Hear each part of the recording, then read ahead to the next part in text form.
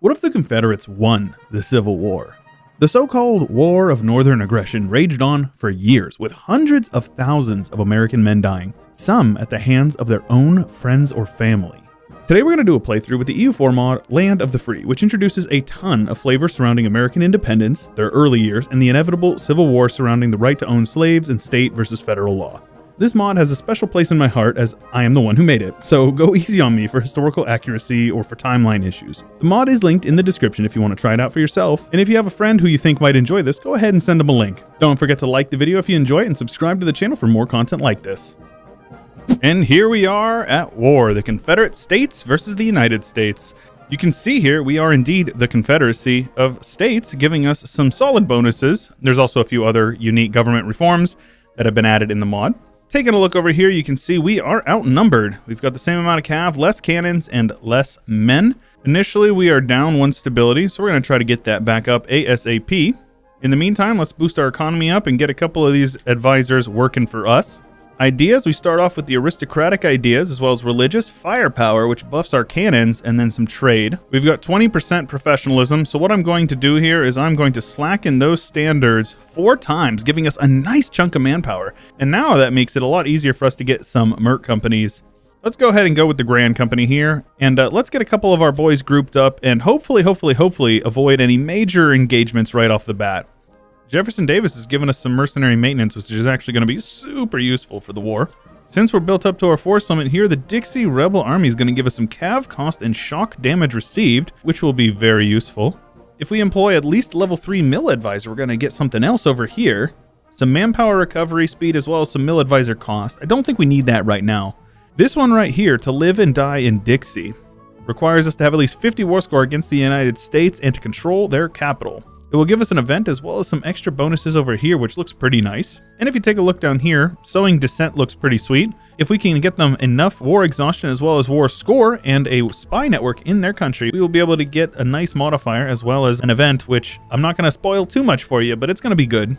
You can see Confederate ideas are giving them some spy network construction as well as years of separatism. Our finisher is some harsh treatment cost, which is pretty good. We get 10% morale of armies as well as some manpower recovery speed and army tradition from battles missionary strength, attrition for enemies, which is useful, autonomy change and minimum autonomy in territories, trade efficiency, and cavalry cost. And this army over here is going to be sieging down Washington. We got a wall breach. Let's go, dude.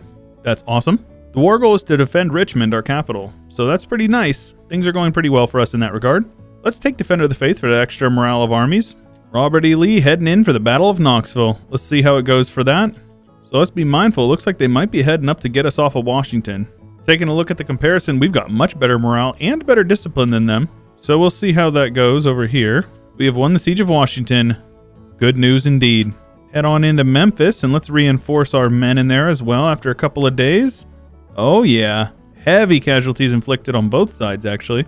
Let's teleport Robert E. Lee in over here just to make sure that Robert E. Lee is the one who gets the beat up on uh, William T. Sherman. Losses are looking pretty good on their end so far. Let's get moving, start sieging down Louisville start pushing into their lands a little bit. We do have some cores up here in West Virginia as well as Kentucky, and I definitely would like to take as much of that in the peace deal as possible. We've won the Siege of Louisville, so let's get our army mobilized and heading over here to protect our homeland. They've got a wall breach on Richmond. We can't let that happen. They're splitting up their armies pretty solid, so this would be good for us. Yep, I think this is our move right here. Catch them over here in Fredericksburg. Very nice. Absolute demolition of the men in Washington. And Fredericksburg is going to be a bit more of the same. We've lost 40,000 men, but they've lost 54,000. And we've got Miltech here, which is going to give us a bit of extra artillery fire, so that's going to be extremely useful. The Siege of Philadelphia has been won as well. Carpet Siege down most of their development over here, and we're in a good spot. To live and die in Dixie. One stability. Jefferson Davis will gain some bird mana. 20 army tradition, and the sack of Washington, huh? Feel free to stop and read, but the war with Union pigs to the north has been going well for the Dixies. That's all you need to know. The US will lose a stability, gain some more exhaustion, gain some devastation in Washington, and it will destroy the White House. Stonewall catching out Ulysses S. Grant in Woodward, Oklahoma. Going about as well for them as you would have expected. Big battle between Robert E. Lee and Ulysses S. Grant over here in Cincinnati. But the reinforcements arrive, and the US doesn't stand a chance.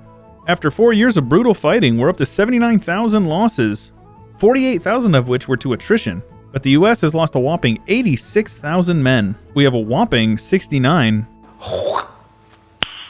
Nice. and the ticking war score is about to max out. Ah, yes, sowing discontent, giving us some spy network construction and extra diplomat, which is useful, but the event, fruitful subversion, will happen. Feel free to stop and read, as I always say, but it looks like uh, New England doesn't really feel like sticking around anymore. New England is released as an independent republic. And since we share a common enemy, let's go ahead and ally these boys, which will give us a common enemy mission, which will give us another stability, which is really nice, as well as some siege ability. So let's just go ahead and boost our stab up a little bit. Cheeky stab right there, and then there you go. And now, in order to get this mission here, we just need to be at peace. And that will allow us to get Robert E. Lee as an advisor and reconstruction in Dixieland. The death of Jefferson Davis, an administrator, a diplomat, or a military mind. Well, 556 is pretty dang good, so let's go ahead and go with him. Frederick Taylor, the second president of the Confederacy. And what do we have here? The Great Lakes Republic, another breakaway state, has broken free and declared war under Consul Jonathan Williams. Well, I say we pick up another ally over here. Why not? And with low enthusiasm, I think it's about time we uh, broke free from here. So we are not allowed to take any land in this war, but what we can do is, is have them give us some stuff. They are our rivals, so let's go ahead and humiliate them, take their money, and then as much war reps as we can get from them. 99% is fine with me. We shall break free and uh, take all of their money in the meantime. That money will be nice because it'll help us pay off a few of our loans. Here we go. We will gain a paper mana as well as Robert E. Lee as a National Manpower Modifier Advisor. Very good. Reconstruction in Dixieland. The South is victorious, so we will gain some dev costs, global devastation reduction for 10 years, and we will also lose some war exhaustion. Though I don't think we really need as much devastation reduction. It looks like the US is the one who got most of the devastation. It certainly looks like New England is handling their own in their war. Great Lakes Republic has their capital of Detroit occupied. We'll see if they're able to break free though. A fractured United States. My Confederate heart in this timeline appreciates that. We do have Fort Sumter here, which uh, obviously we can upgrade, and it's going to give us some serious bonuses, fort maintenance and fort defense. And we also have the San Antonio missions, which would give us a missionary as well as missionary strength and cost. We will now revise the Constitution, giving us an event for a new capital for the Confederates, as well as autonomy change and reform progress growth. And we will now lay claim to the southern borderlands of Mexico and the so-called New Mexico to the west. A new capital for the Confederates. Feel free to stop and read, but uh, Richmond will start the construction of a new great project. The capital of the Confederacy, when fully upgraded, will give us national unrest and governing capacity. Very solid. Oh yeah, the economy is definitely picking back up. Loans are paid off and we are running a decent balance. Pretty soon we'll be able to embrace global trade and uh, get caught up on all these techs. This is an event that can happen in uh, tobacco and cotton provinces. It's going to give us quite a bit of bonuses in those provinces for a time, which is going to be really nice. Also, many of the cultures in the New World have been reworked, and you can see American is its own culture group now. If you take a look down here, you'll see a couple of these provinces are of an Afro-American culture, and every province that has this culture will uh, gain a little bit of local unrest, but will produce more trade value. Obviously, if you culture convert, you will lose that uh, modifier. So it appears that the Great Lakes and New England both failed in their independence attempts. I don't know how exactly that works, but uh, they're both now subjects and they're both very disloyal, which is definitely going to be to our advantage. And with coastal trade done, we've got ourselves some trade efficiency, so we can start working towards this one to have at least a certain amount of money and some light ships, which will give us more mana, as well as a solid modifier for construction cost and time. Might as well annex some of the natives over this way while we have some time. And let's just annex some more natives, why not? And we now have economic recovery, giving us an advisor as well as some dev cost and global prosperity growth, which is going to be really nice. We've already got quite a bit of prosperity, but this will help solidify it over out here in the western parts. We also have another reform here. We're going to go ahead and require service to vote. That way we don't just get mindless drones who vote along party lines, right? Our truce with the US will be over here in about a year, so let's get our armies prepared because we're going back in. With our truce expired, we're going to immediately go back in and attack them. Let's go ahead and attack them from Mayfield and uh, make this as quick and painless as possible for us. I will be taking everything that I have cores on, which is all of West Virginia as well as Kentucky. And with that reconquest finished, we now have our mission to unite Dixieland, giving us some bonuses in Kentucky as well as West Virginia. And here we go. A little bit of mana is always nice, and then a little bit of modifiers for construction cost and time. I have something in mind for this. Universities are going to be cheaper. So what we're going to do is we're going to find all the farmlands provinces that have cotton and tobacco, invest in some universities in the south to help children in the south read better, but more importantly, it's going to give us what we need to boost up this development to make big, big bank. You guys will see, this is going to be incredible. With trade ideas finished, let's get some goods produced as well as some trade efficiency. With the burghers loyalty over 60, we'll get that 10%. If we come over to a state like this and set our local development cost on there as well, you can see these cotton provinces on these farmlands that we built these universities have incredibly, incredibly cheap development. So we can get those guys up over 8 very easily. And uh, that is what we will do here.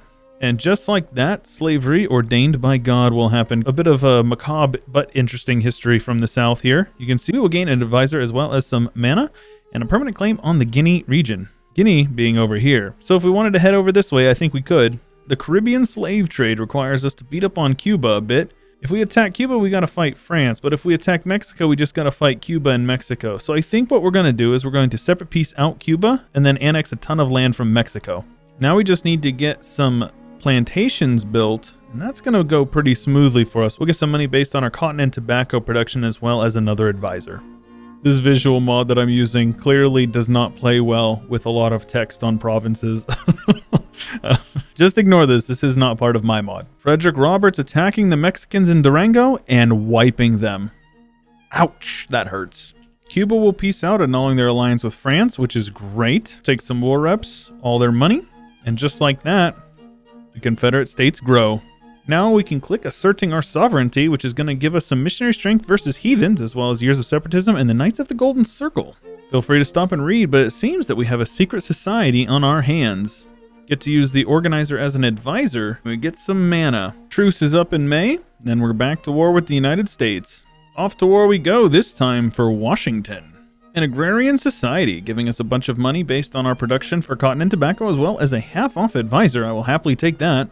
In order to revive the slave trade, it looks like we're going to have to have at least five provinces that are producing slaves, and five provinces in the Caribbean for this one here. Now, there's a decent reason for this peace deal, and I'll explain it here in a second, but we're going to take Maryland, Ohio, as well as Michigan, including the UP. Hate to break it to you guys, but the UP is indeed part of Michigan. We're also going to take a bunch of money and war reps from them. And what this is going to do is this is going to allow us to, one, yoink a bunch of development from this area, which I'd like to do. We're going to core it all up, but the main thing is, is I want this C&H mining company when fully upgraded is going to give us some very solid modifiers to our goods produced as well as local goods produced in this area. Our truce is up with Cuba, so let's head on in and attack them. We're going to need to take quite a bit of land from them in order to get what we're looking for. We will take the entirety of the island of Cuba, as well as one island over here in Martinica, and that is going to allow us to use this as a naval base of operations to get over into Africa.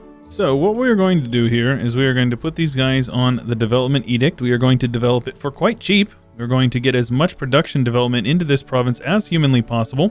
We'll give it one more click here, and then what we're going to do is we're going to upgrade this guy, which will change the trade good to copper and give it some more base production, and then each level up will give it a bit more base production, as well as some goods produced. This is going to be end up being extremely lucrative for us. We can play this correctly. And now we can afford it. We're going to go ahead and upgrade this guy to level 3, which is going to boost the production up even more in this province, which is crazy productive. Look at those goods produced, as well as a global modifier of plus 10. And since we had range, I sent a colonist over here to West Africa, so we'll have a base of operations. We're going to need it, because for some reason, Jollof is allied to the Ottomans. It's almost as if they knew that I was coming for them specifically, so they allied the Ottomans. And with our navy built up, you can see here, three random provinces in the Caribbean region will have their trade good changed to slaves and will receive a province modifier, giving some goods produced, as well as if we have at least two centers of trade, we will gain five light ships in each port. We only have one, so we won't get any of the light ships, but that's okay. So three of our provinces are now producing slaves over here. Think of it as the Caribbean is the slave trade hub of the New World. It's a disgusting thing, but it's actually historically accurate. Now all we need is two more and we'll be able to get this lucrative imports event. And would you look at that, the Ottomans are not going to help these guys, so I'm going to go ahead and attack them right now as we have a second here. And uh, get on over here, because obviously they've got a lot of slaves, and I would like to attack them and take those. And here we go, we will fully annex those guys, and uh, we now have uh, Dixie Guinea. With that, we will now revive the slave trade, giving us an event here, increasing the price of slaves for 35 years. Another truce is up, another war declaration for these guys. Simple as. This is all mine now. Easy peasy. We can now reclaim Yankee land, which will give us a dev cost modifier, which is super nice. An ocean-going navy, gaining Franklin Buchanan as an admiral. And after a nice hard-fought war with um, a lot of Mexicans perishing at the hands of the Confederates, we will now take a large chunk of their land down here. We will core up all that we are able to. We will click this mission here, which will give us light ship cost and light ship combat ability for 20 years, as well as claims on a lot of the areas around here. Look at that. It shall all belong to us. After a bit of development, taking a look at our missions here, we've got two. The Dixie West Indies, which will uh, allow us to basically modify all these provinces that we developed to get this mission here, and it will make them cheaper, but also uh, much more lucrative in terms of trade value. Uh, and then this one right here, this is um, this is kind of my magnum opus mission. Uh, well, at least kind of magnus opus moment in this mod. Click this mission right here, and we get a uh, an event here. Essentially, it says the people are clamoring to abolish slavery. And for those who do not know, uh, it's widely considered that even if the Confederates would have broken away from the U.S., they would have abolished slavery eventually on their own terms and transitioned their economy. This event here is to simulate the public as well as people abroad are clamoring for abolition. So what do we want to do? We can reinforce this slavery and uh, basically establish a coup, and the Knights of the Golden Circle will take over. Or we can abolish slavery, which is going to harm our economy in the short term, but there are some really, really solid ramifications. And we also unlock a brand new mission tree based on what we go with. We are going to abolish slavery. All of our slave producing provinces now produce different trade goods. Havana now produces glass over here, right? We now have tobacco down here and the price of tobacco as well as cotton has tanked, which is going to hurt our economy pretty bad. However, we can come on over here and we can shift our focus. Well, let's see here. If we take a look over here in Appalachia, we have some uh, iron producing and copper producing provinces. So why don't we invest into those areas, try to get our economy reinvigorated, right? Go ahead and embrace this institution, take this technology and get that trade efficiency up because our economy is going to need it. Next idea group, Liberty is pretty solid. I think since we've abolished slavery, we can say that we're not uh, too bad for that. So we're going to go with Liberty. This is a unique idea group to the mod. It's also in my idea group's reworked mod that I made, which is kind of like um, inspired by this mod. And with a bit of investment into the Appalachia, we now are able to shift our focus, giving all these provinces that meet this trigger, which is actually all four of these guys here, an upgrade to their workshop, as well as we will be able to unlock a new decision to industrialize our nation, gradually transitioning away from production of cotton and tobacco. Very exciting stuff. So go ahead and click this button here. You can see all of these provinces now have an upgraded counting house, which is really cool. We also have another mission down here because I took the time to dev up Chattanooga and we are going to discover gems in Chattanooga, American gems, local goods produced and trade value modifier in that province as well as changing the uh, trade good from copper, I think it was, to gems, as well as giving us some development and some prosperity in Chattanooga. Very cool, huh? On top of that, we also gain some PP, some claims on this area, but we also get some claims up here because I think it's about time we started uh, looking back towards the old world now you can see this guy right here. We have some cotton and tobacco provinces. You can see them highlighted in the purple there. And we also need some money because it costs some money to invest into this economy, right? We will lose the money, but we will have an event that will happen. And each round of industrial investments will produce three events. There's a five-year cooldown, and then we'll be able to do it again. This mission right here requires us to not have the post-abolition economy, which is just a time thing. And we have to do at least five rounds of industrial investment. Clicking this decision right here, we are going to have industrialization within the Confederate States. So you can see Spring Hill, Durham, and Covington are all possible places where we could be doing this. Durham seems like the best place to go. So what we're going to do is we're going to turn Durham into cloth. And it will also change the manufacturer if you have one in that province. And just like that, we have salt in Lagrange now. Pretty cool. With five 30 dev provinces, we are now a developed nation, gaining some tax modifier, war exhaustion, and some mana. Always appreciated. Let's take a look over here at New York and uh, upgrade West Point. Upgrading that is going to give us some Millman as well as some Army Tradition. It's also going to give us global modifier of some Army Tradition and Military Advisor cost, which is nice. But more importantly, it allows us to reform the Dixie Army, giving us more professionalism, more Army Tradition, and will upgrade it to a Tier 3 faux free, which is awesome. If we have at least three generals right now, we will get Land Leader, Fire, and Artillery cost for the rest of the game, so let's go ahead and do that. Yes, please. And if we have at least 50 cavalry in the land of the Longhorn completed, we'll be able to get plus one cavalry shock for the rest of the game as well as land leader shock. So let's get started on that. Very good. So we will now gain a natural scientist who is 75% off, which is great. Now I realize that I'm actually not playing with Trade Goods Expanded, but if you are playing with it, uh, the missions are incorporated to give you some solid goodies if you uh, if you do use them. We also have full employment for having lots of manufactories, so for the rest of the game, we get goods produced and dev cost, which is solid. We now have Southern Stables giving us 10 Cossacks cavalry as well as, for the rest of the game, Cavalry Shock and Land Leader Shock. Very solid modifiers. And with the uh, North Atlantic Islands conquered, we will now upgrade Fort Williams, which is over here in Greenland. It will become the Atlantic staple port, as well as giving us some claims over here in Scotland.